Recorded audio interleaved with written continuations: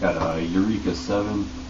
I bought this one, and you know, I was reading through it, and it seemed kind of cheesy with uh, the mechs and the surfboards flying around the air and stuff, but you know, the characters were alright, so I bought the second one. I haven't read it yet, but I'm going to get around to it.